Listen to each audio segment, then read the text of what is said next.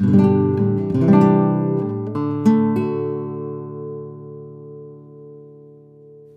ihr Lieben und herzlich willkommen zum Einschlafen Podcast Episode 510. Ich bin Tobi, ich lese euch heute Immanuel Kant vor aus der Kritik der reinen Vernunft. Davor gibt es den Regel der Woche und davor erzähle ich euch ein bisschen was, damit ihr abgelenkt seid von euren eigenen Gedanken und besser einschlafen könnt. Ja, ähm, und heute habe ich gar kein so konkretes Thema. Ich hatte euch ja mal eine Liste von Themen vorgestellt, als ich hier wieder nach meiner Pause wieder angefangen hatte, hatte ich mir diese Liste zurechtgelegt, damit ich auch immer was habe, was ich euch erzählen kann. Und eins der Themen auf dieser Liste war USA-Reise. Denn zu dem Zeitpunkt, als ich die Liste aufgestellt habe, war eine USA-Reise für mich geplant. Es sollte Mitte Juni, glaube ich, war das schon. Ja, klar, jetzt ist Juli.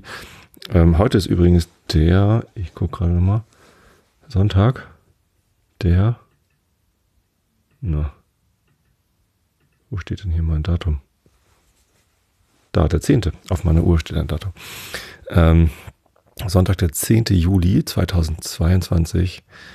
Und Mitte Juni hätte ich in die USA fliegen sollen, um äh, dort an einen Workshop mitzumachen. Und das war alles schon geplant. Ich hatte vorher, wie immer, ein bisschen Urlaub reingeplant und sogar hinterher auch noch ein paar Tage bei einem Kollegen.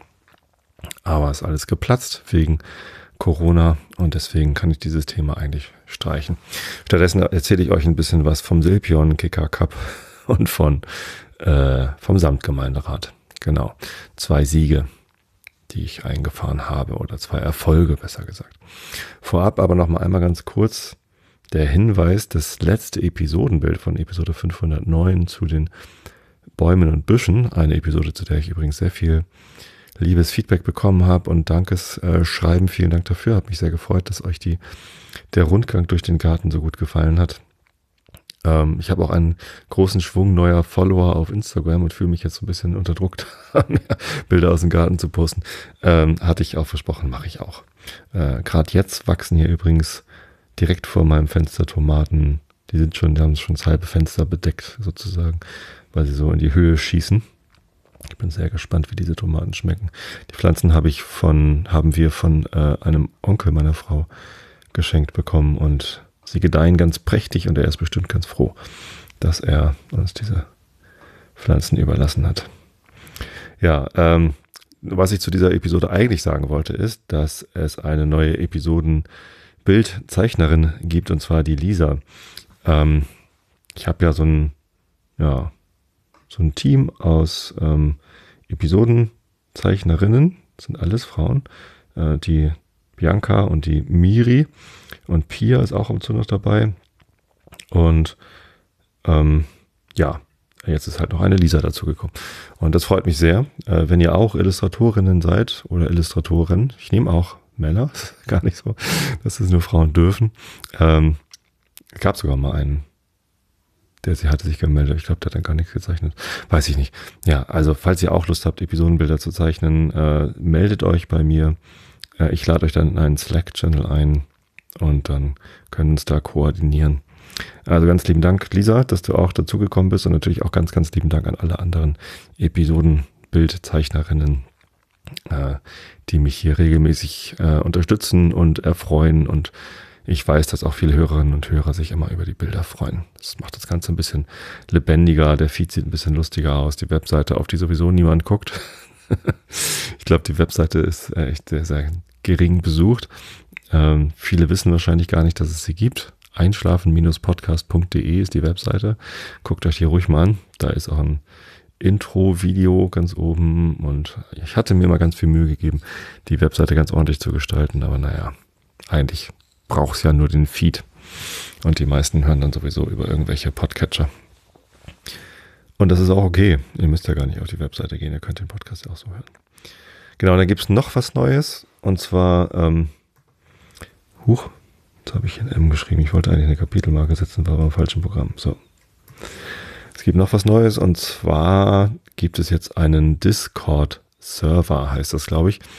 Äh, Discord ist ein noch relativ neues, naja, so neu ist es auch gar nicht mehr, aber ein Social Media Unternehmen, das bietet an, dass man ähm, dort Server einrichten kann. Das sind nicht Server in dem Sinne, dass das halt physische äh, Computer sind, die dann ein Server sind, sondern das sind quasi Bereiche, ähm, in denen man sich mit anderen Leuten austauschen kann. Es ist also so ein bisschen so wie Facebook, nur dass es nicht Facebook gehört und es ist auch so ein bisschen so wie Telegram. Ähm, nur, dass es eben nicht Telegram ist. Und ich bin ja immer so ein bisschen auf der Suche, wo tausche ich mich denn mit meinen Hörerinnen und Hörern aus? Äh, wo gebe ich euch denn die Möglichkeit, mich zu erreichen und irgendwie Feedback dazulassen? Äh, und wo gebe ich euch auch die Möglichkeit, euch untereinander zu verknüpfen? Und ja, erst war ich auf Facebook, dann war ich auf Telegram und jetzt äh, bin ich auf Discord. Discord hat natürlich auch seinen Ruf und hat auch seine Schwierigkeiten und ähm, ich glaube aber, dass die insgesamt ein bisschen sorgsamer mit äh, Schwurblern und Nazis umgehen und die dann vielleicht auch mal rausschmeißen. Bin mir da gar nicht so ganz sicher. Aber äh, viele andere Leute sind auch auf Discord, äh, denen ich zutraue, dass sie da die richtige Entscheidung treffen. Und zwar äh, vor allem die Waschkaus mit ihren äh, Wild Mikes Ferngesprächen. Ähm, und ja, ich dachte, ich probiere mal Discord aus. Und da gibt es auch automatische Benachrichtigungen, wenn eine neue Episode erscheint. Genau, also wenn ihr auf den Discord-Server möchtet, geht einfach auf mik.fm, das ist ja meine Haupt-Homepage, mik.fm, slash discord, D-I-S-C-O-R-D. Und wenn ihr darauf geht, dann seid ihr quasi automatisch eingeladen in den Einschlafen Discord-Server und könnt mich da erreichen, könnt andere Hörerinnen und Hörer da erreichen, könnt einfach ein bisschen plaudern. Ich habe noch gar nicht so viele Channels angelegt. Es gibt irgendwie einen Announcement-Channel, wo die neuen Episoden angekündigt werden. Ähm, es gibt einen Feedback-Channel und einen allgemeinen heißt der, glaube ich, ne? Keine Ahnung, oder General. Ich weiß gar nicht, ob das Deutsch oder Englisch ist. Ähm, das sind so die, also der allgemeine war halt so der automatische Channel, der erscheint. Da werden alle neuen Mitglieder auf dem Discord-Server begrüßt, also so automatisch. Hallo, äh, es gibt ein neuen, äh, neues Mitglied. Da habe ich anfangs immer irgendwie kurz reagiert. Ähm, der ist aber sehr unübersichtlich, weil da diese ganzen automatischen Nachrichten kommen. Und deswegen habe ich noch einen Feedback-Channel angelegt, da könnt ihr mich halt direkt erreichen. Wenn ihr Lust habt, ähm, schreibt mir gerne, was ihr noch weitere für weitere Channels hättet, äh, gerne hättet, dann lege ich die gerne an. Und dann könnt ihr euch da noch weiter austauschen. Eigentlich könnten wir auch die Episodenbilder da organisieren, oder? Was meint ihr, Bianca, Miri, Pia und Lisa? Ähm, vielleicht kann man das einfach da machen. So geheim ist das ja auch nicht. Also, was in diesem Slack-Channel passiert mit den Episodenbildern, ist, dass ich ähm, in meiner Nachricht reinschreibe, hey, ich habe jetzt hier eine neue Episode im Kasten. Die poste ich dann da auch. Stimmt, das sollte ich dann auf dem Discord vielleicht nicht machen, ne? Also die wird da schon vorveröffentlicht sozusagen. Ein Rohschnitt MP3, noch ohne die Gitarre vorneweg und so. Und ohne, dass sie gut klingt, sondern einfach nur so. Ähm, damit die Episodenzeichnerin, wenn sie dann zeichnet, äh, das vielleicht nebenbei laufen lassen kann und sich inspirieren lassen kann. Genau, deswegen veröffentliche ich das da. So, und, und da findet natürlich die Koordination statt, wer überhaupt was zeichnet. Hm. Nö, ich glaube, ich lasse das auf dem Slack. Also wenn ihr zeichnen wollt, meldet euch und dann lade ich euch in den Slack ein. Äh, in den Discord könnt ihr einfach so reinkommen. mik.fm slash Discord. Ja, und falls es irgendwie essentielle Kritik an Discord gibt, lasst es mich gerne wissen. Ich ziehe auch gerne nochmal um, äh, irgendwo anders hin. Aber hm, ich könnte auch einfach mal so ein HTTPS-Zertifikat kaufen. Bei meinem Hoster kostet das leider relativ viel Geld. Ich bin bei Host Europe und das kostet da ziemlich viel Geld, HTTPS zu ermöglichen. Und nur mit HTTPS darf man ja ähm, eine eigene Community betreiben. Das könnte ich natürlich da auch machen, dass man da ein Discourse aufsetzt oder irgendeine andere Community. Bulletin Board hieß das früher. Schwarzes Brett. Dann könnte man das einfach da machen, ohne irgendein öffentliches Social Media Netzwerk zu verwenden. Ja. Genau. So viel dazu. Herzlich willkommen, Lisa. Herzlich willkommen, Discord. Kommen wir mal zu den zwei Erfolgen, die ich zu vermelden hatte. Der erste war, und, und die waren beide äh, direkt äh, einen Tag hintereinander. So, an dem Donnerstag der letzten Woche, das war der 30. Juni, gab es eine Samtgemeinderatssitzung Ich bin ja in den Sandgemeinderat gewählt worden für die Partei Bündnis 90 Die Grünen und habe meinen Wählerinnen und Wählern versprochen, dass ich mich dann dort um das Thema Lichtverschmutzung und um Fahrradwege kümmern möchte. Lichtverschmutzung ist ein Thema, das liegt mir sehr am Herzen. Und das, ich glaube, das geht vor allem ähm, Astro-Freaks so. Also ich bin ja äh, ein Fan des Nachthimmels. Ich mache gerne Fotos vom Nachthimmel. Ich schaue aber auch ganz einfach ganz gerne Nachthimmel, ob jetzt mit Teleskop oder nicht. Äh, ich finde es immer einen sehr erhebenden Anblick, wenn man hochschaut und es ist dunkel und man sieht Sterne und ähm, ja, kann auf Sternschnuppen warten oder kann so ein bisschen versuchen, sich am Nachthimmel zurechtzufinden und zu schauen, wo ist hier eigentlich was. Ähm, das gefällt mir immer sehr gut, wenn ich dann Planeten entdecke, Planeten mit einem Teleskop anschauen. Gefällt mir besonders gut, wenn man dann halt so ein kleines Scheibchen sieht, bisschen Struktur beim Saturn, die Ringe, äh, beim Jupiter, die Nebelbänder da und, und die Planeten. Das, das gefällt mir immer sehr, sehr gut. Und ich habe auch schon oft genug davon berichtet. So, ich bin halt ein Fan der Astronomie, schaue selbst gern in den Himmel und ich halte das für ein großes Kulturgut. Und ähm, wahrscheinlich kommt es auch daher, dass ich ähm, das Thema Lichtverschmutzung für mich entdeckt habe. Lichtverschmutzung bedeutet ja, dass künstliches Licht ähm, in den Himmel strahlt und damit halt die Atmosphäre aufhält, denn ähm, die Erde ist ja von einer Atmosphäre umgeben. Ich weiß nicht, ob ihr es wusstet. Also Luft. Und ähm, die Luft hält Wasser, also da ist halt ganz viele Sachen drin in der Luft, die ist ja nicht komplett durchsichtig, also natürlich ist sie durchsichtig, aber äh, wenn man da Licht drauf strahlt, dann, dann leuchtet da halt auch was ne? weil halt irgendwie Flüssigkeit drin ist, weil Staub drin ist. Alles Mögliche kann da irgendwie reflektieren. So, und das ähm, sieht man ganz gut an Städten. Wenn man mal eine Stadt in der Nacht anschaut, dann äh, sieht man da so eine, so eine Dunstglocke drüber. Und die Dunstglocke ist natürlich da, egal ob Licht drauf scheint oder nicht. Aber wenn Licht drauf scheint, dann sieht man sie halt äh, ganz besonders. Ja, äh, und Lichtverschmutzung ist halt, wenn künstliches, überschüssiges künstliches Licht einfach in die, äh, in den Nachthimmel scheint. Und da, da ist natürlich dann Atmosphäre, egal ob da eine Dunstglocke einer Stadt mit ganz viel Feinstaub und sonst was ist. Ähm, aber auch hier auf dem Lande, wo keine Dunstglocke ist, also ich glaube, ich bin gerade so außerhalb der Dunstglocke von Hamburg hier, ähm, da ist der, äh, es gibt natürlich auch Atmosphäre und ähm, da ist dann auch sinnvoll, kein Licht in die Atmosphäre zu strahlen. Genau, denn wenn äh, die, die Atmosphäre beleuchtet wird von künstlichem Licht, dann kann man den Nachthimmel nicht mehr so gut sehen. So, das ist der kulturelle Nachteil. Ähm, wenn man in der Stadt mal versucht hat, Sterne anzugucken, wird man das wissen. Dann sieht man vielleicht den großen Wagen äh, oder die Cassiopeia, das große Himmelsweh äh, und äh, im Herbst den Orion oder so äh, im Winter. Und das war's dann auch schon. Ja, wenn man hier draußen bei mir in den Nachthimmel schaut, dann sieht man schon ein bisschen mehr. Ähm, da kann man dann irgendwie Tausende von Sternen sehen und nicht nur Dutzende. Und äh, auch hier ist es natürlich nicht komplett dunkel. Also ich wohne ja auch in der Zivilisation. Das klingt manchmal so, als wäre es hier komplett einsam, aber Karkensdorf ist ein Dorf mit 1400 Einwohnern ungefähr. Ähm, auf der einen Seite liegt Tosted, das ist 10.000, 12.000 Einwohner groß und auf der anderen Seite liegt Buchholz mit, weiß ich nicht, 30, 40.000 Einwohner und entsprechend viel Lichtverschmutzung. Also von den beiden strahlt bestimmt was hier über Karkensdorf rüber. Man sieht die beiden Orte auch ganz gut, wenn man äh, nachts äh, an den Horizont schaut, sieht man da die Orte leuchten weil da halt Lichtverschmutzung stattfindet. Und entsprechend muss man schon relativ weit fahren, um einen wirklich dunklen Fleck zu finden. Am liebsten bin ich auf dem Brunsberg nachts, wenn ich Sterne gucken will, so beim, bei den äh, Meteoritenschauern oder so. Ähm, das ist ein kleiner Berg, 169 Meter oder so. Ja, ich weiß, Süddeutsche halten das nicht für einen Berg, es ist ein Hügel.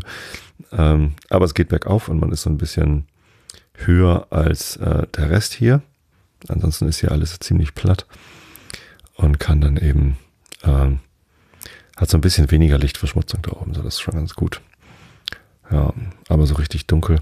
Ähm, ich war ja mal im Yosemite Nationalpark und auch im Desert Valley. Death Valley heißt das nicht Desert Valley. Death Valley. Äh, Death Valley ist sogar ein von der International Dark Sky Association ausgeschriebener ähm, Dunkelheitspark. Äh, leider war, als ich da war, gerade so ein bisschen diesig. Den konnte ich da nicht so gut gucken. Genau, also es geht natürlich noch deutlich dunkler. So, und Lichtverschmutzung ist ein Problem, das eben nicht nur den kulturellen Verlust des Nachterlebens quasi bedeutet. Eigentlich brauchen wir ja heutzutage nicht mehr unbedingt den Nachthimmel. Früher war das mal anders. Da musste man immer sehen, wie stehen die Sterne gerade, um zu wissen, äh, welche Jahreszeit es eigentlich gerade, als es noch keine Kalender gab und konnte sich daran orientieren, ähm, was so die Aussaat der Felder anging oder was weiß ich was. So, ne? Das äh, war ja früher ein wichtiger Bestandteil äh, der kulturellen Entwicklung, dass man den Nachthimmel irgendwie verstehen konnte. Oder auch den Lauf der Sonne. Na gut, den kann man auch, trotz Lichtverschmutzung kann man den Lauf der Sonne noch ganz gut verfolgen. Nee, ähm, es geht aber nicht nur um Kultur, sondern es geht natürlich auch um die Natur, die wir damit ähm, beschädigen. Und zwar nicht zu knapp.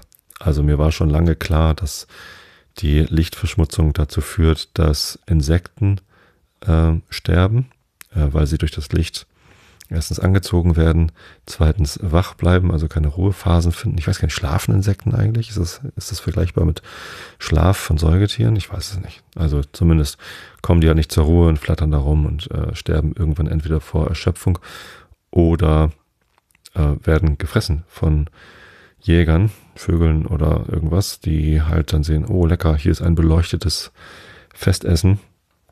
Da kann ich mich mal satt essen, genau. Und damit sterben eben nicht nur die Insekten, sondern werden eben auch die Fressfeinde der Insekten aus ihrem Rhythmus gebracht, denn die jagen dann auf einmal irgendwie zu ganz anderen Zeiten, als sie es eigentlich gewohnt waren, ähm, jagen vielleicht auch mehr, als sie es sollten und äh, haben dann, andere haben dann weniger zu essen. Es werden halt Ökosysteme durcheinander gebracht. Auch ist es so, dass äh, Säugetiere, also Wirbeltiere, die brauchen auch äh, ein gewisses Maß an Dunkelheit, um schlafen zu können. Also, weiß ich nicht, jetzt irgendwelche, irgendwelche Tiere im Wald, ähm, die halt die Dunkelheit brauchen, um, um erholsamen Schlaf zu bekommen. Menschen brauchen ja auch Dunkelheit, um erholsamen Schlaf zu bekommen. Ähm, allerdings brauchen Menschen nicht ganz so viel Dunkelheit wie beispielsweise ein Biber oder ein was weiß ich was. Oder gibt es halt Tiere, die brauchen deutlich äh, dunklere Flecken. Wenn die das nicht bekommen, haben die keinen erholsamen Schlaf, werden krank und ja, die Population geht zurück. Es ist also ein, äh, ein sehr vielfältiger äh, Einfluss auf die Ökosysteme, die Lichtverschmutzung hat. Ähm, ich bin immer noch kein Experte darüber, ähm, aber wir haben einen Experten gefunden. Das ist der Manuel Philipp, Gründer der Paten der Nacht. Der hat sich auch dieses Konzept mit der Earth Night ausgedacht. Also Earth Hour kennt ihr vielleicht schon. Äh, das ist im Frühjahr, glaube ich, immer von um acht bis um neun wird man, wird gebeten, irgendwie das Licht auszuschalten. Da geht es im Wesentlichen um Stromsparen. Äh, und um neun machen alle das Licht wieder an oder so. Und Earth Night ist ein äh, ergänzendes Projekt sozusagen, das sich der Manuel Philipp ausgedacht hat. Ähm, da geht es darum, dass man zumindest mal eine Nacht im Jahr äh, alles wirklich, wirklich dunkel macht und dann eben Straßenbeleuchtung ausstellt und alles, was an unnötiger Beleuchtung an ist, einfach mal ausstellt, um erstens den, den kulturellen, das kulturelle Erlebnis des Nachthimmels wieder zu gewinnen für diese eine Nacht. Und äh, andererseits ist das natürlich auch eine Informationsveranstaltung gegen Lichtverschmutzung. Denn das eigentliche Ziel ist natürlich nicht nur, dass man eine Nacht im Jahr den Himmel wieder dunkel hat, sondern immer. Und das geht aber nur, wenn alle mitmachen. Und dazu müssen aber erstmal alle informiert sein. Denn ich glaube, Lichtverschmutzung ist ein Thema, das vielen Menschen gar nicht so bewusst ist. Ne? Baut man sich ein neues Haus und denkt sich, was für ein schönes neues Haus habe ich denn hier gebaut? Das muss ich unbedingt mit so hübschen LED-Strahlern bestrahlen. LEDs verbrauchen ja auch ganz wenig ähm, wenig Energie und wenig Strom und das ist also günstig. Also mache ich hier so einen LED-Strahler und der strahlt dann so nach oben dieses Haus an und das ist dann irgendwie hübsch. Also nicht wie bei einer Kirche mit so einem fetten äh, Scheinwerfer, sondern einfach an den Wänden diese kleinen äh, Lichtlein. Dann denkt man, das kann ja auch gar nicht so schlimm sein. In der Summe ist es aber halt schlimm. In der Summe ist es auch schlimm, im Garten so Solarlampen zu haben, die dann irgendwie die ganze Nacht durchleuchten, obwohl dann gar keiner mehr im Garten ist. Das summiert sich halt alles und ähm, führt dazu, dass, äh, dass es zu viel Lichtverschmutzung gibt. Und deswegen hat sich der Herr Philipp diese Earth Night ausgedacht und macht dafür ganz viel Werbung. Ähm, den hat David gefunden, hier mein Nachbar, mit dem ich die Grünen Karkensdorf zusammen wieder wiederbelebt habe. Ähm, mit David war ich Kanuwandern in Schweden. Auch die Episode habt ihr vielleicht schon gehört. Die findet ihr im Archiv. Es war 2019, genau. In dem Jahr vor Corona. Ja. Ähm, da sind wir eine Woche zusammen mit noch äh, einem Freund, der nach Schweden ausgewandert war und unseren Kindern sind wir mit Kanus durch äh, Schweden gewandert sozusagen, also Kanu wandern. Und dann waren wir halt irgendwie in der absoluten Dunkelheit, also da war sehr, sehr wenig Lichtverschmutzung. Und ich habe den Nachthimmel dort sehr genossen, habe in der auf der Fahrt habe ich David halt sehr viel zum Thema Lichtverschmutzung, was ich damals halt alles wusste. Also das mit den Wirbeltieren und auch, dass Zugvögel davon irritiert werden und ihre Bahnen irgendwie nicht wiederfinden und so. Ähm, das wusste ich da alles noch gar nicht. Ähm, aber das, was ich wusste, habe ich ihm erklärt. Und er fand das sehr interessant und hat dann eben, als er dann im Gemeinderat war, dann eben, also er war zu dem Zeitpunkt ja schon im Gemeinderat, hat er ähm, ja halt geguckt, was gibt's denn da so für Informationen im Netz. Und er hat den Manuel Philipp entdeckt, der wohnt unten am Chiemsee. Unten. Äh, eigentlich ist es oben, sehr viel höher gelegen als hier das flache Land, also in Süddeutschland. Und hat schon eine Umweltmedaille des Freistaats Bayern verliehen bekommen für seinen ähm, Erfolg. Er hat äh, ein, auch ein äh, Dunkelheitsreservat äh, in Deutschland ähm, durchgesetzt sozusagen und ist insgesamt also äh, sehr aktiv und überzeugt sehr viele Leute. Ich glaube, das ist das, was Manuel am besten kann. Er kann Leute überzeugen. Er weiß ganz viel, er kann sehr gut erklären, aber er kann eben auch mit ganz viel Begeisterung davon erzählen und diese Begeisterung schwappt einfach über. Und wenn man da mal, wir haben ihn dann eingeladen, letztes Jahr beim Wahlkampf, es war eine Wahlkampfveranstaltung, ja, aber es war eben auch einfach eine Infoveranstaltung, ähm, einen Online-Vortrag zu halten zum Thema Lichtverschmutzung und da du hinterher halt sofort Lust, äh, draußen jegliches Licht zu löschen, was irgendwie überflüssig ist, weil er so gut überzeugen kann. Genau. So, und seitdem haben wir Kontakt zu dem Manuel Philipp und ja, jetzt war, jetzt bin ich halt im Samtgemeinderat und hatte mir das auch so ein bisschen auf die Fahne geschrieben, lass uns da mal ein bisschen was gegen Lichtverschmutzung tun. Denn im Gegensatz zur Luftverschmutzung äh, oder auch zur, ähm, zum Ausstoß von klimaschädlichen Gasen wie CO2, Methan und so weiter, das sind so Sachen, die die, die passieren zwar lokal, ne, also ein Kohlekraftwerk steht halt an einer bestimmten Stelle, stößt dann CO2 aus. Die Auswirkung ist aber global. Ne, also das CO2 verteilt sich äh, in der gesamten Atmosphäre und trägt dann halt zum, ähm, zum Klimawandel bei. Bei der Lichtverschmutzung ist das ein bisschen anders. Also das Licht strahlt halt ab und ist dann halt, ja, ist dann halt weg, ist dann halt im All oder findet so seinen Weg. Ähm, und so eine Stadt wie Hamburg, die hat natürlich auch Einfluss auf die Umgebung, also wahrscheinlich auch bis hier ähm, wird der Nachthimmel ähm, ein bisschen verdeckt von der Lichtverschmutzung. Man kennt einfach nicht mehr so viele Sterne. Aber insgesamt ist, bleibt es halt lokal. Also in Paris äh, oder in Südamerika oder sonst wo ähm, merkt man von der Lichtverschmutzung in, aus Hamburg nichts entweder machen die da ihre eigene Lichtverschmutzung, Paris ganz bestimmt, ähm, aber ähm, oder aber äh, eben nicht. Aber von der Hamburger Lichtverschmutzung kommt da nichts an. Das heißt, Lichtverschmutzung ist eine Thematik, die kann man nur lokal bekämpfen, aber man kann sie eben auch lokal bekämpfen. Also es ist eine Sache, da muss man jetzt nicht sagen, ja, aber die Chinesen stoßen ja auch so viel CO2 aus, ne, was natürlich ein gern dahergeführtes Argument ist von den Leuten, die keine Veränderung möchten. Bei Lichtverschmutzung ist das scheißegal, was die Chinesen tun, sondern bei Lichtverschmutzung geht es nur darum, was wir hier eigentlich lokal machen. So und Ähm, was wir machen und was wir machen können, ist eigentlich relativ einfach. Es hat auch gar nicht so viel mit Einschränkungen zu tun. Beim Thema CO2 geht es ja immer darum, wir müssen unser, unser Leben so ein bisschen umstellen und das ist natürlich für viele eine Herausforderung und hat auch was mit, mit Einschränkungen oder mit Veränderungen zu tun, denen vielleicht nicht so gern gesehen wird. Ich persönlich finde diese Veränderung größtenteils gut, ähm, aber ja, ist ein anderes Thema.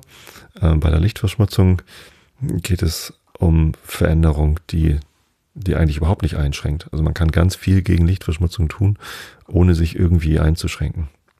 Also es gibt überhaupt keinen Grund, warum bei irgendwelchen Baumärkten die ganze Nacht durch Werbebeleuchtung in den Schaufenstern oder in, auf so großen Werbetafeln laufen muss. Ja, niemand fährt nachts da vorbei und sieht, ah, hier ist ein Baumarkt. Vielleicht ist er geöffnet, fährt hin, stellt fest, er ist geschlossen, weil ja Nacht ist, äh, kommt dann aber am nächsten Tag, weil die Werbung so gut geleuchtet hat. Also das passiert nicht. Ähm, oder große Möbelhäuser, die die ganze Nacht durch ihre Werbebeleuchtung anlassen. Das ist Quatsch. Also alle, die dort vorbeifahren in der Nacht, wissen, dass da ein Möbelhaus ist. Und wenn sie Möbel kaufen wollen, dann fahren sie halt nächsten Tag hin. Oder eben auch nicht. Ähm, und das, das geht auch runter bis auf kleine Betriebe, Supermärkte, die die ganze Nacht über ähm, das Licht anlassen auf den Parkplätzen oder Schulen, die die ganze Nacht über das, äh, den Parkplatz beleuchten. Das ist alles Quatsch, da hat niemand was von. Also das, da, da gewinnt man nur, wenn man das Licht ausstellt. Man gewinnt, also man, man, man gibt weniger Geld für Strom aus, man trägt weniger zur Lichtverschmutzung bei und äh, niemand hat irgendeinen Nachteil davon. Genau, und das gilt sogar auch für die Straßenbeleuchtung. Ja, da kann man natürlich sagen, die Straßen müssen doch aber beleuchtet werden. Das ist gar nicht so. Ähm, es gibt überhaupt keine Pflicht, Straßen zu beleuchten, also zumindest nicht überall. Äh, es ist durchaus sinnvoll, Straßen zu beleuchten an Kreuzungen und so, äh, damit man sieht, oh, hier ist eine Kreuzung. Äh, falls man abbiegen möchte oder so. Aber äh, die ganze Straße muss eigentlich gar nicht beleuchtet werden. Autos haben nämlich meistens selbst Licht an. Dann brauchen sie gar keine Straßenbeleuchtung. Ja, und was Sicherheit angeht, da gibt es natürlich dann auch immer große Sorgen, dass dann ja die, äh, die Einbrecher äh, sich viel freier bewegen können, wenn die Straßen nicht beleuchtet sind. Da gibt es aber auch schon sehr viele wissenschaftliche Studien dazu, dass das eben nicht der Fall ist, dass die Einbruchsquote steigt, wenn die Straßenbeleuchtung nachts abgestellt wird. Ähm, und es erklärt sich ja auch, dass Einbrecher ja auch Licht brauchen. So, und äh, naja, ich weiß nicht, äh, warum das irgendwie mit, mit ausgeschaltetem Licht äh, einfacher sein soll. Ich glaube, die werden dann sogar noch viel eher gesehen, wenn sie da mit ihren Taschenlampen da rumfunzeln, als wenn wir denen einfach die ganzen Straßen beleuchten. Ähm, außerdem kommen Einbrecher in der Regel eher tagsüber, weil dann die Häuser leer sind. Also mittlerweile ja auch nicht mehr, aber also mittlerweile sind die Häuser nicht mehr leer, weil so viele Leute Homeoffice machen. Aber ich habe, weiß nicht, die Einbrüche, von denen ich gehört habe, es waren alles tagsüber Einbrüche. Dass sie halt tagsüber hinten am Haus sich dann Zugang verschafft haben und dann, weil das Haus komplett leer stand, einfach alles durchsucht haben.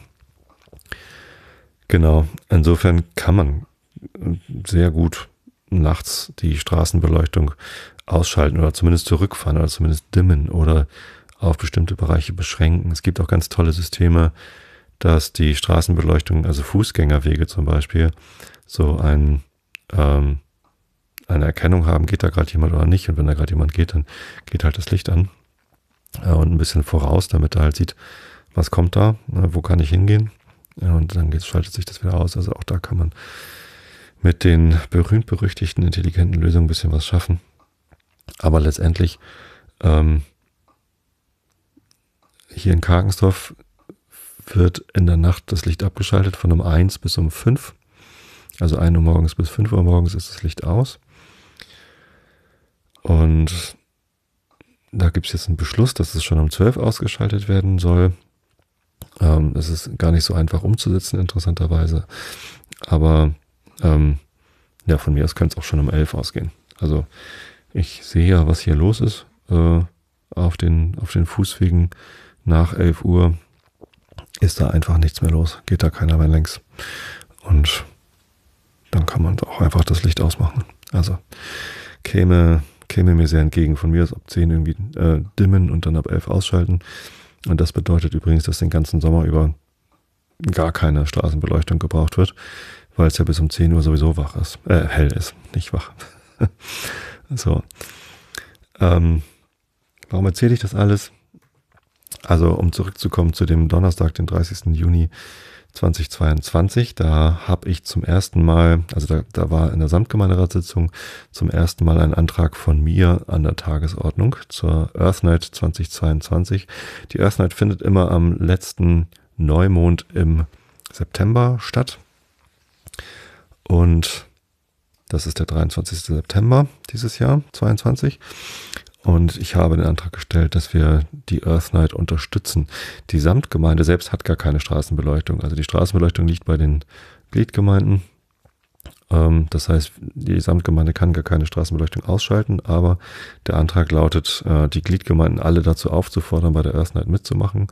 Auch alle Werbetreibenden dazu aufzufordern, mitzumachen. Ähm, eine Infoveranstaltung zu machen für die Bevölkerung äh, noch vor der Earth Night, damit auch viele Bürger Bescheid wissen über Lichtverschmutzung und dann eben auch mitmachen können und auch wissen, äh, warum dann das Licht abgeschaltet wird. Äh, und noch einen Flyer wollte ich auch noch verteilen, weil der Manuel Philipp einfach einen sehr guten Flyer dafür entwickelt hat, der auch schon mal ein bisschen erklärt, worum es geht und so. Findet ihr alles, äh, wenn ihr nach Earth Night googelt, äh, schaut euch das gerne mal an. Ähm, der Antrag wurde heiß diskutiert. Erstens habe ich den viel zu spät gestellt. Also ein bisschen Anfängerfehler. Ich hätte das schon viel früher stellen müssen, den Antrag.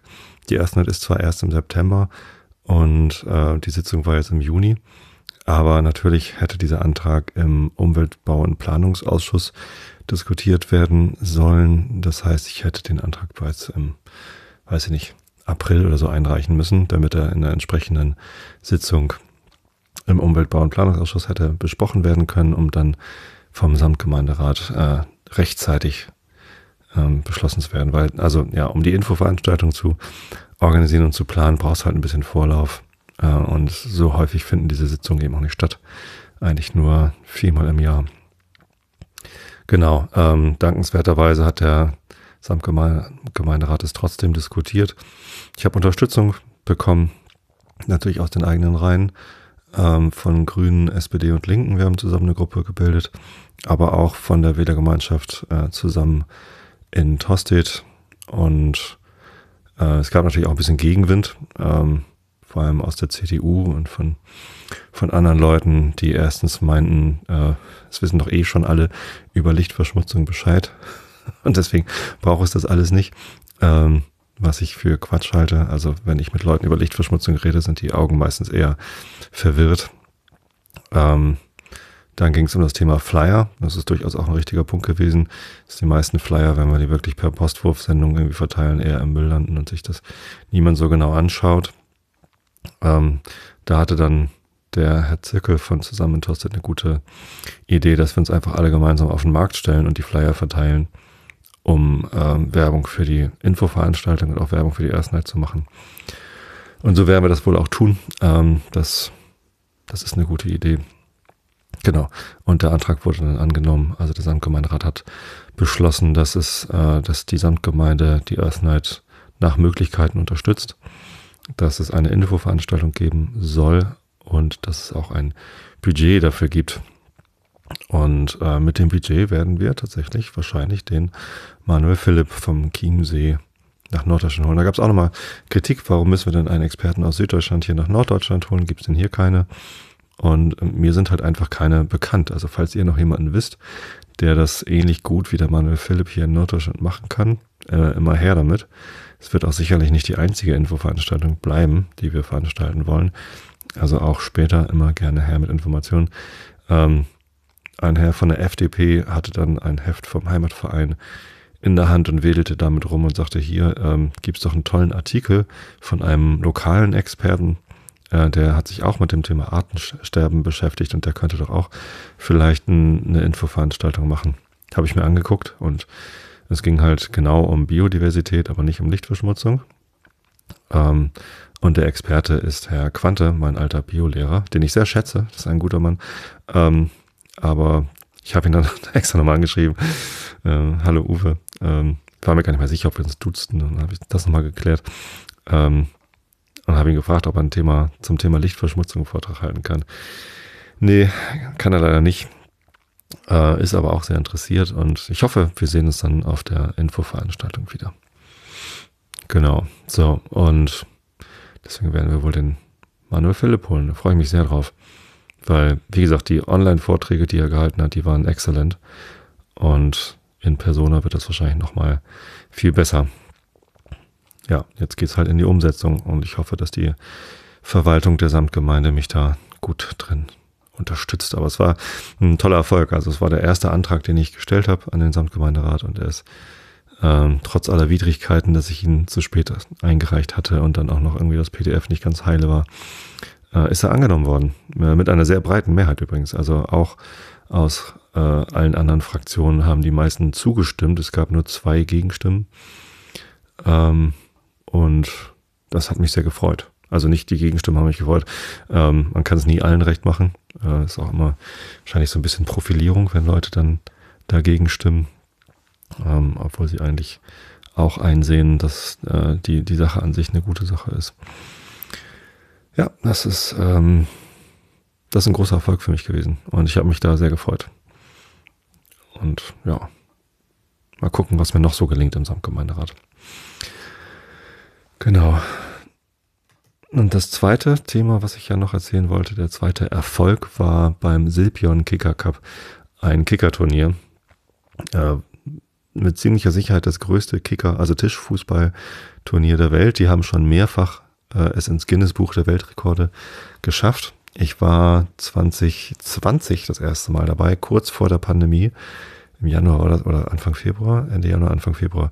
Ich kam gerade aus den USA zurück. Genau, ich war ähm, auf USA-Reise, habe da meine Schulung gemacht im Januar und die Pandemie brach gerade aus, aber war noch gar nicht so bekannt. Ähm, ja, und da war Silpion Kicker-Turnier am Kampnagel. Und wir sind mit der Firma hin. Ich kam gerade aus den USA zurück, hatte noch Jetlag und dachte, naja, gehe ich mal zu einem Kicker-Turnier. Das sollte um äh, nachmittags um drei anfangen und ich hatte keine Ahnung von diesem Turnier, was da auf mich zukommt. Hab dann äh, gedacht, hm, wenn das um drei anfängt und wir nicht gewinnen, also nicht irgendwie ins Finale kommen oder so, dann sind wir ja sicherlich irgendwie um zehn oder elf spätestens zu Hause und dann kann ich gut schlafen. Tatsächlich ähm, sind bei diesem Kicker-Turnier, also 2020 waren da wie viele? Ich glaube 2500 Teilnehmer an 160 Kickertischen im Kampnagel. Also eine riesen Veranstaltung.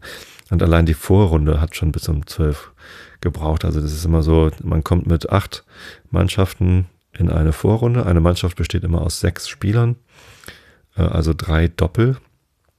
Und dann werden halt drei Spiele ausgetragen pro Partie.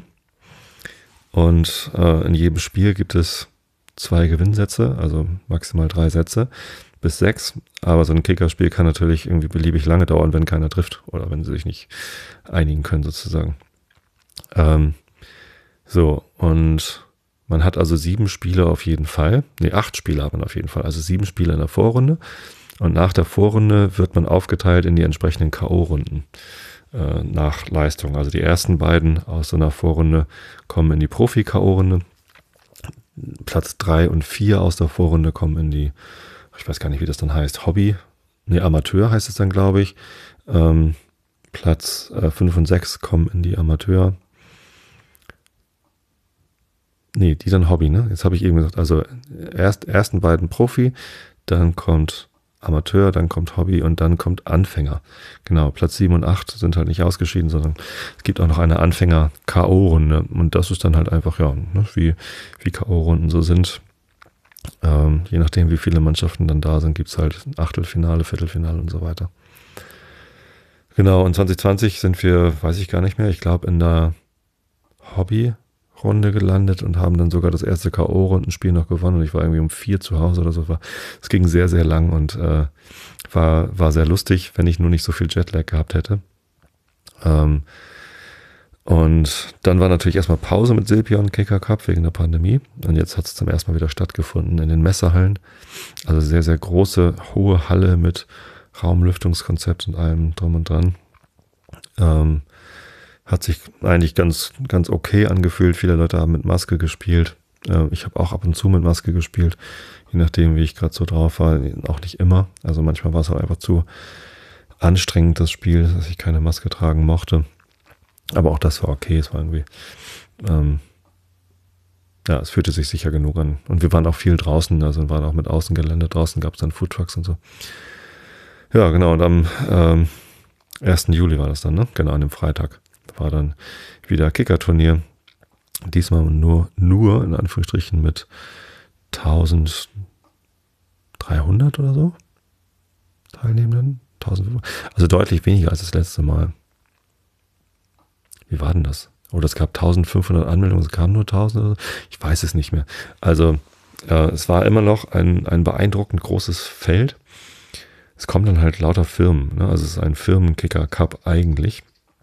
Ähm, aber es gibt auch viele Mannschaften, die sich einfach so aus Spaß anmelden. Die meisten sind halt Firmenmannschaften gewesen. Ne? Von allen möglichen Betrieben aus und rund um Hamburg kommen dann irgendwie die Kickermannschaften. Viele haben dann Motto-T-Shirts oder sogar Trikots sich herstellen lassen.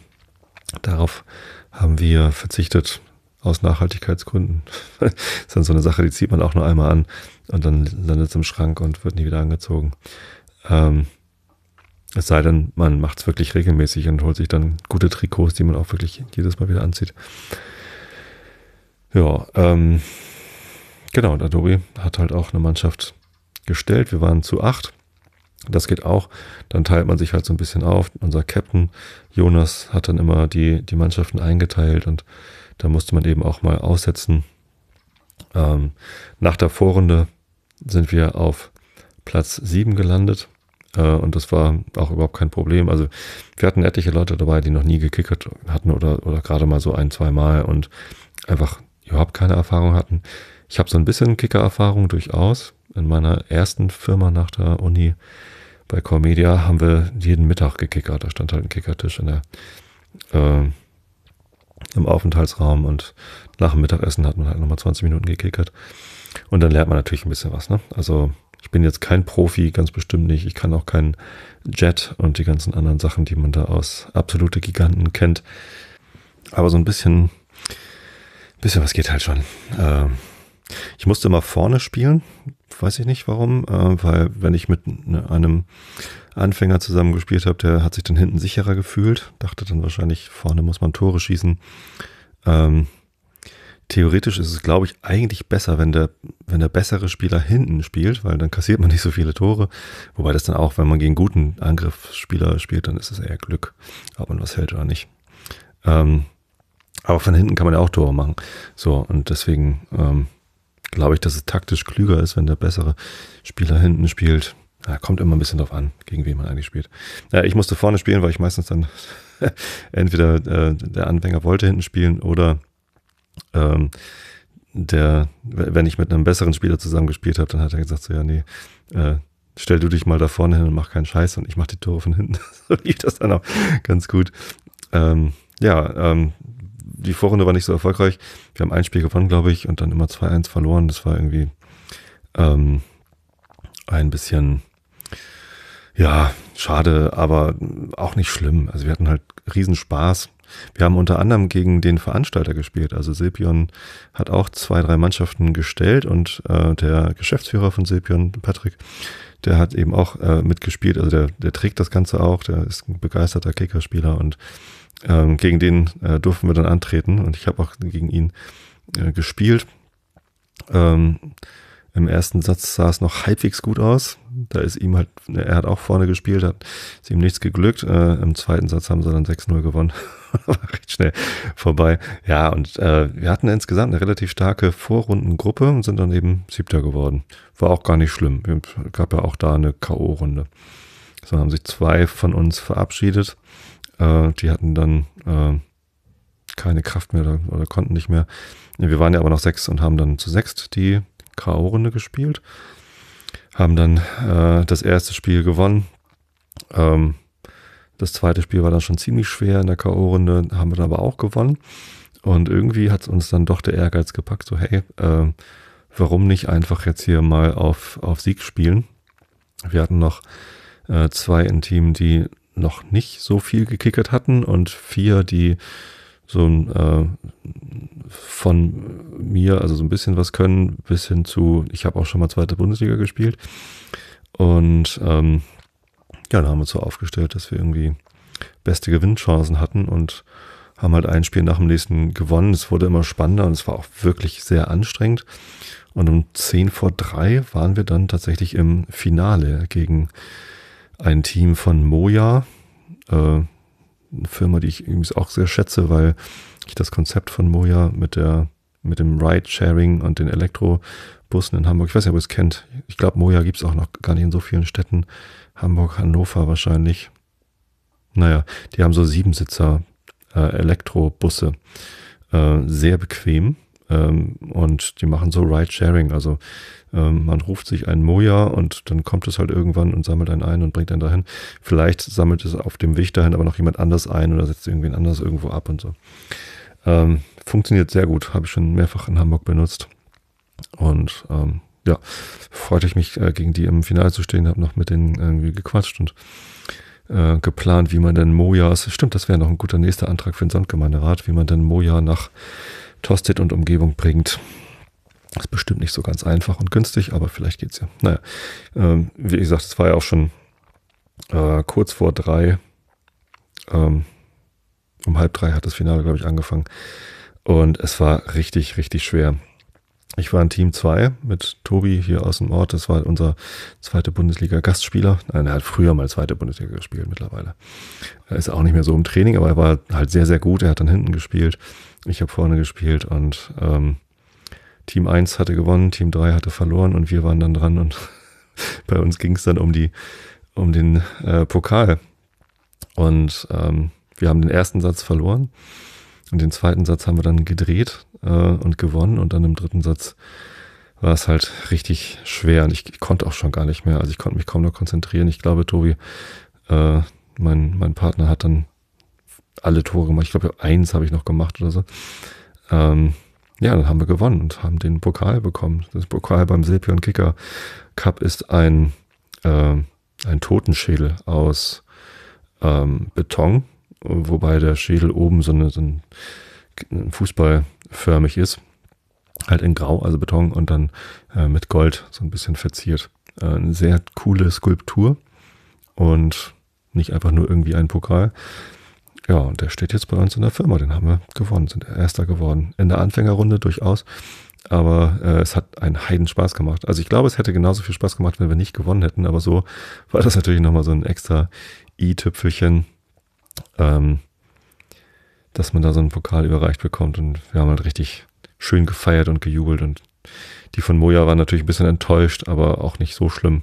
Ähm, ja, war alles gut. Also es ist echt ein tolles Turnier. Es geht gar nicht so sehr ums Gewinnen. Also es geht eher darum, miteinander zu kickern und Spaß zu haben. Auch alle, die gerade nicht äh, dran waren, haben halt auch gekickert und ja, es war wirklich einfach ein sehr, sehr gelungener Abend. Vielen Dank an Silpion, Patrick und das ganze Team für die Ausrichtung. Ähm, des Ganzen. Ähm, nächstes Mal kommen wir ganz bestimmt wieder. Äh, vielleicht ja auch mal mit zwei Mannschaften von Adobe. Wir müssen mal so ein bisschen Werbung machen, dass mehr Leute anfangen zu kickern. Genau. Der Pokal steht schon da als Motivation. Kann also losgehen. Was auch losgehen kann, ist der Rilke der Woche. Wir sind bei Position 1646 in der Gesamtausgabe. 24 Prozent in der sechsten Duineser Elegie. Und es ging um einen König, genau. Wunderlich nah ist der Held doch den jugendlich Toten. Dauern ficht ihn nicht an, sein Aufgang ist Dasein, beständig nimmt er sich fort und tritt ins veränderte Sternbild seiner, erst, seiner steten Gefahr. Dort fänden ihn wenige, aber das uns finster verschweigt, das plötzlich begeisterte Schicksal seiner aufrauschenden Welt, hör ich doch keinen wie ihn. Auf einmal durchgeht mich mit der strömenden Luft sein verdunkelter Ton. Dann wie verberg ich mich gern von der Sehnsucht. Oh, wär ich, wär ich ein Knabe und dürft es noch werden und säße in die künftigen Arme gestützt und lä läse von Simson, wie seine Mutter erst nichts und dann alles gebar. War er nicht Held schon in dir, o Mutter, begann nicht dort schon in dir seine herrische Auswahl, tausende Brauten im Schoß und wollten er sein, aber sie, er ergriff und ließ aus, wählte und konnte, und wenn er Säulen zerstieß, so war's, da er ausbrach aus der Welt deines Leibs, in die engere Welt, wo er weiter wählte und konnte. O Mütter der Helden, o Ursprung reißender Ströme, ihr Schluchten, in die sich hoch von dem Herzrand klagend schon die Mädchen gestürzt, künftig die Opfer dem Sohn.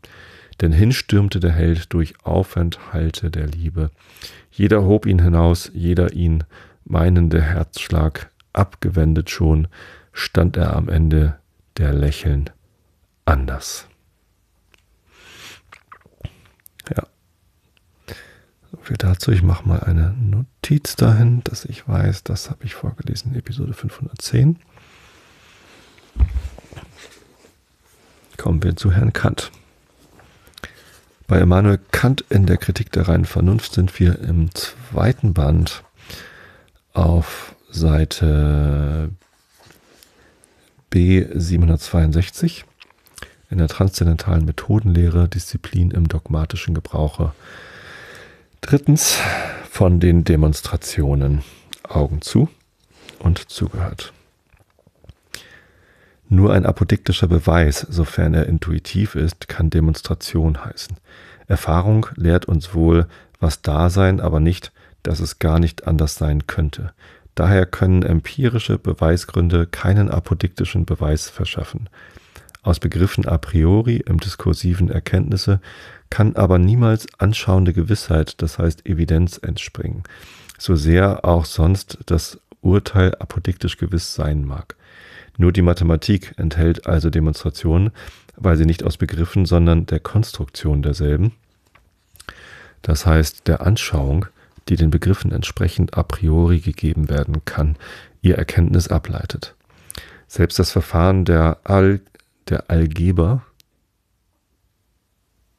selbst das Verfahren der Algeber, wahrscheinlich mit der Algebra, mit ihren Gleichungen, aus denen sie durch Reduktion die Wahrheit zusammt dem Beweise hervorbringt, ist zwar keine geometrische, aber doch charakteristische Konstruktion, in welcher man an dem Zeichen die Begriffe vornehmlich von dem Verhältnisse der Größen in der Anschauung darlegt und ohne einmal auf das Heuristische zu sehen, alle Schlüsse von vor Fehlern dadurch sichert, dass jeder derselben vor Augen gestellt wird, dahingegen das philosophische Erkenntnis dieses Vorteils entbehren muss, indem es das Allgemeine jederzeit in abstracto durch Begriffe betrachten muss, indessen das Mathematik das Allgemeine in concreto in der allgemeinen einzelnen Anschauung und doch durch reine Vorstellung a priori erwägen kann, wobei jeder Fehltritt sichtbar wird. Ich möchte die ersten daher lieber akroamatische diskursive Beweise nennen, weil sie sich durch lauter Worte den Gegenstand in Gedanken führen lassen, als Demonstrationen, welche, wie der Ausdruck es schon anzeigt, in der Anschauung des Gegenstandes fortgehen. Aus allem diesen folgt nun, dass es sich für die Natur der Philosophie gar nicht schicke, vornehmlich im Felde der reinen Vernunft mit einem dogmatischen Gange zu strotzen und sich mit den Titeln und Bändern der Mathematik auszuschmücken, in deren Orden sie doch nicht gehöret, ob sie zwar auf schwesterliche Vereinigung mit derselben zu hoffen alle Ursache hat. Jene sind eitle Anmaßungen, die niemals gelingen können, vielmehr ihre Absicht rückgängig machen müssen, die Blendwerke einer ihre Grenzen verkennenden Vernunft zu entdecken und vermittelst hinreichender Aufklärung unserer Begriffe den Eigendünkel der Spekulation auf das bescheidene, aber gründliche Selbsterkenntnis zurückzuführen. Die Vernunft wird also in ihren transzendentalen Versuchen nicht so zuversichtlich vor sich hingehen, hinsehen können, gleich als wenn der Weg, den sie zurückgelegt hat, so ganz gerade zum Ziele führt und auf ihre zum Grunde gelegte Prämissen nicht so mutig rechnen können, dass es nicht nötig wäre, öfters zurückzusehen und Acht zu haben, ob, ob sich nicht etwa im Fortgange der Schlüsse Fehler entdecken, die in den Prinzipien übersehen worden und es nötig machen, sie entweder mehr zu bestimmen oder ganz abzuändern. Ich teile alle apodiktische Sätze, sie mögen nun erweislich oder auch unmittelbar gewiss sein, in Dogmata und Mathemata ein. Ein direkt synthetischer Satz aus Begriffen ist ein Dogma. Hingegen ein der gleichen Satz durch Konstruktion der Begriffe ist ein Mathema. Analytische Urteile, Urteile lehren uns eigentlich nichts mehr vom Gegenstande, als was der Begriff, den wir von ihm haben, schon in sich enthält, weil sie die Erkenntnis über den Begriff des Subjekts nicht erweitern, sondern diesen nur erläutern. Sie können daher nicht füglich Dogmen heißen, welches Wort man vielleicht durch Lehrsprüche übersetzen könnte, aber unter den gedachten zwei Arten synthetischer Sätze a priori können nach dem gewöhnlichen Redegebrauch nur die zum philosophischen Erkenntnisse gehörige diesen Namen führen und man würde schwerlich die Sätze der Rechenkunst oder Geometrie Dogmata nennen. Also bestätigt dieser Gebrauch die Erklärung, die wir gaben, dass nur Urteile aus Begriffen und nicht aus der Konstruktion der Begriffe dogmatisch heißen können. Nun enthält die ganze reine Vernunft in ihrem bloß spekulativen Gebrauche nicht ein einziges direkt synthetisches Urteil aus Begriffen. Denn durch Ideen ist sie, wie wir gezeigt haben, gar kein synthetischer, gar keiner synthetischer Urteile, die objektive Gültigkeit hätten fähig. Durch Verstandesbegriffe aber errichtet sie zwar sichere Grundsätze, aber gar nicht direkt aus Begriffen, sondern immer nur indirekt durch Beziehung dieser Begriffe auf etwas ganz Zufälliges, nämlich mögliche Erfahrung, da sie denn, wenn diese etwas als Gegenstand möglicher Erfahrung vorausgesetzt wird, allerdings apodiktisch gewiss sein, an sich selber aber direkt a priori gar nicht einmal erkannt werden können. So kann niemand den Satz alles, was geschieht, hat seine Ursache aus diesen gegebenen Begriffen allein gründlich einsehen. Daher ist er kein Dogma, ob er gleich in einem anderen Gesichtspunkte, nämlich dem einzigen Felde seines möglichen Gebrauchs, das heißt der Erfahrung, ganz wohl und apodiktisch bewiesen werden kann. Er heißt aber Grundsatz und nicht Lehrsatz. Ob er gleich bewiesen werden muss, darum, weil er die besondere Eigenschaft hat, dass er seinen Gegen, äh, dass er seinen Beweisgrund, nämlich Erfahrung, selbst zuerst möglich macht und bei dieser immer vorausgesetzt werden muss. Es gibt nun im spekulativen Gebrauch der reinen Vernunft auch dem Inhalte nach gar keine Dogmata. So ist alle dogmatische Methode, sie mag nun dem Mathematiker abgeborgt sein oder eine eigentümliche Manier werden sollen, für sich unschicklich denn sie verbirgt nur die Fehler und Irrtümer und täuscht die Philosophie, deren eigentliche Absicht ist, alle Schritte der Vernunft in ihrem klärsten Licht sehen zu lassen. Gleichwohl kann die Methode immer systematisch sein, denn unsere Vernunft, subjektiv, ist selbst ein System, aber in ihrem reinen Gebrauche vermittels bloßer Begriffe nur ein System der Nachforschung nach Grundsätzen der Einheit, zu welcher Erfahrung allein den Stoff hergeben kann. Von der eigentümlichen Methode einer Transzendentalphilosophie lässt sich aber hier nichts sagen, da wir es nur mit einer Kritik unserer Vermögensumstände zu tun haben, ob wir überall äh, bauen und wie hoch wir wohl unser Gebäude aus dem Stoffe, den wir haben, den reinen Begriffen a priori aufführen können. Okay, jetzt kommt des ersten Hauptstücks zweiter Abschnitt, die Disziplin der reinen Vernunft in Ansehung ihres polemischen Gebrauchs. Das kommt also nicht jetzt, sondern in der übernächsten Episode. Ich wünsche euch allen eine gute Nacht. Wenn ihr kickert, dann kommt doch zum nächsten Silpion Kicker Turnier. Können wir uns da sehen und ein Bierchen zusammen trinken. Ich wünsche euch aber bis dahin genügend Schlaf, denn Schlafen ist gesund und wichtig und macht schön und ja, überhaupt. Und ausgeschlafen. Hab ich alle lieb. Bis zum nächsten Mal. Gute Nacht.